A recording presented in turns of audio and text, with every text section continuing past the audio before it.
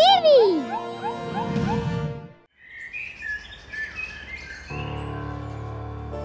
आ, आ मर गई रे।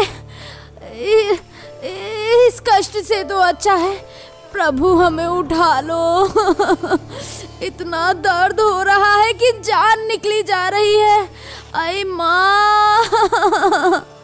मैंने घाव सूखने और दर्द कम करने की दवा दे दी है लेकिन आप जल्दी ही खून लेकर आइए। मरीज़ की हालत बिगड़ रही है उसके शरीर में खून की कमी है। आप मेरा खून निकाल लीजिए लेकिन मेरी पत्नी को बचा लीजिए। ठीक है मैं कोशिश करता हूँ। डॉक्टर साहब जल्दी से कोई दवा दे दीजिए। मैं दर्द से मरी जा रही हूँ। आय आय आय आय आय। मैंने दवा दे दी है लेकिन आपके शरीर में खून की कमी है इसलिए घाव ठीक होने में समय लग रहा है। हे प्रभु और कितना कष्ट देंगे आप। ना जाने ये कौन सी बीमारी है। इन घाव के दर्द से मेरी तो जान ही निकली जा रही है। आय आय आय भाई कोई दवा दे दो जिससे तुरंत राहत मिल जाए। आपको ज़रूरत की सभी दवाएँ दे दी हैं और अब आपको खून की सख्त ज़रूरत है। आपके रिश्तेदार खून लेने गए तो हैं लेकिन अभी तक लौट कर नहीं आए। माया को अस्पताल में भर्ती हुए दो दिन हो गए। लेकिन उसकी तबीयत अभी तक ठीक नहीं हुई है। हम्म, डॉक्टर साहब बता रहे हैं कि उसके शरीर से सारा खून बाहर निकल रहा है। अरे मैं था तीन दिनों से खून का इंतज़ाम कर करके परेशान हो गया लेकिन फिर भी ज़रूरत पूरी नहीं हुई। पत्नी और बच्चे दोनों के लिए खून का इंतज़ाम करना पड़ रहा है। अरे बताओ के करूँ यार? कुछ समझ नहीं आ रहा।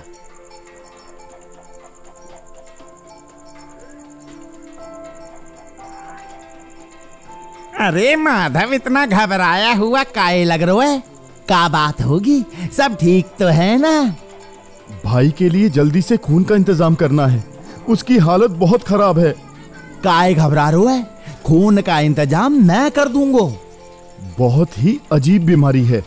ऐसा लगता है कि घाव से शरीर का सारा खून निकल जाता है। लेकिन खून तो शरीर से बाहर निकले ही ना है। लगता है वो अंदर ही सूख जावे है। मुझे लगता है जे कोई साधारण बीमारी ना है। हाँ ये तो है। ऐसा लगता है ये बीमारी जल्दी से ठीक होने वाली नहीं है। जे का कह रहे हो तुम? सच बोल रहा हूँ अभी अस्पताल से ही आ रहा हूँ। और और वहाँ के डॉक्टरों ने बताया कि ऐसी बीमारी पहले कभी नहीं हुई। डॉक्टरों ने जल्दी से इस बीमारी का कोई इलाज ढूंढना चाहिए। अरे भोला को क्या हो गया? वो इतना उदास क्यों है? ने अस्पताल में दम तोड़ दिया। ये तो बहुत ही बुरी खबर है। अब तो मुझे और भी डर लगने लगा है। गाँव के कई लोग अस्पताल में भर्ती हैं और उनकी तबीयत बिगड़ती ही जा रही है। पतो ना है गाँव में जे कौन सी आफत बह गई। गाँव में हर दिन किसी ना किसी की मौत हो रही है।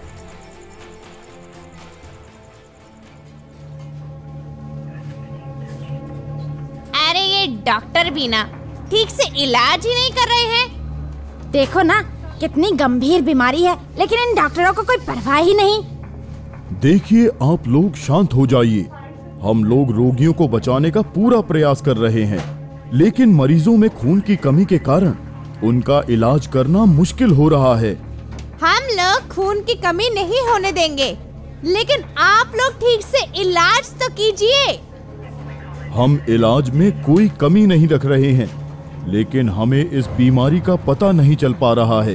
इस बीमारी में सबसे बड़ी समस्या ये है कि शरीर का खून निकल जाता है। ये कैसे हो रहा है हम लोगों को अभी तक पता नहीं चल पा रहा। लेकिन मैंने मरीज़ के शरीर से खून निकलते हुए नहीं देखा। अरे मेरे कहने का मतलब है शरीर में खून बहुत कम हो जाता है। अच्छा? मैंने अपनी पत्नी को बचाने के लिए सारे उपाय किए फिर भी उसे बचा नहीं पाया। मैंने भी माया को बचाने के लिए काफ़ी कुछ किया है। अब तो मैं काली माँ के शरण में जाऊँगा। हाँ अब देवी माँ ही मेरा आसरा है। भाई मैंने भी सारे उपाय आजमा लिए। अब मुझे भी देवी माँ पर ही विश्वास है। हाँ वो ही कुछ करेंगी।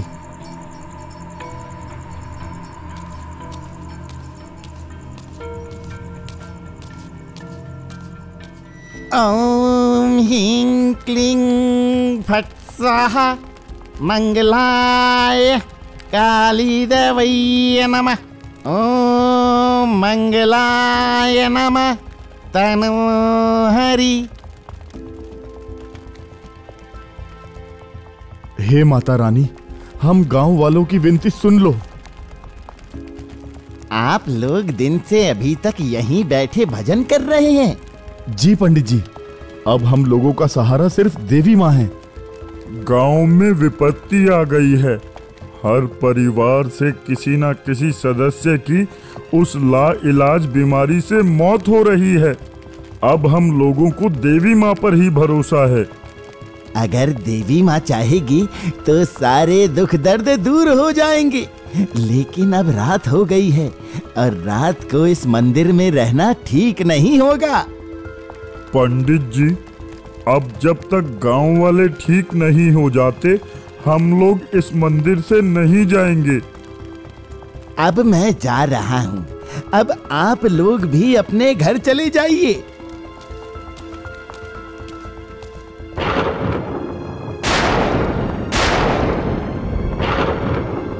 जय माँ काली हम गाँव वालों की रक्षा करो।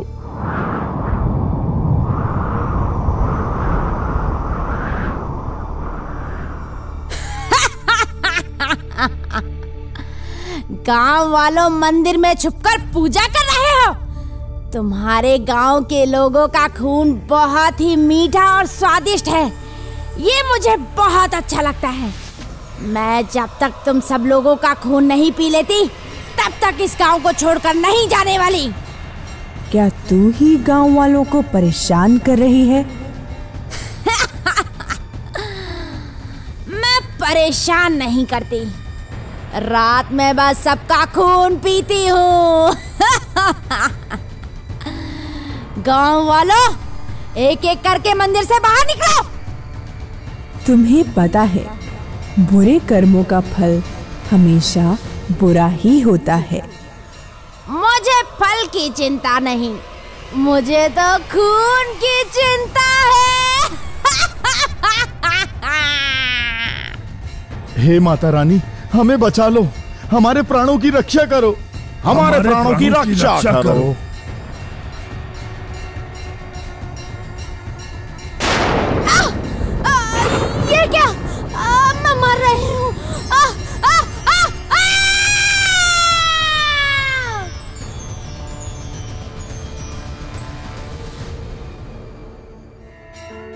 हे माता रानी आपने हम सबकी जान बचा ली।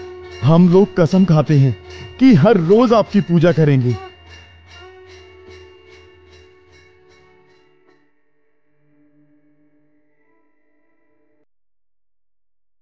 अगर आपको हमारे वीडियोस पसंद आ रहे हों तो इन्हें लाइक करें, चैनल सब्सक्राइब करें और हमारे कार्टून शो सबसे पहले देखने के लिए बेल आइकन दबाना ना भूलें।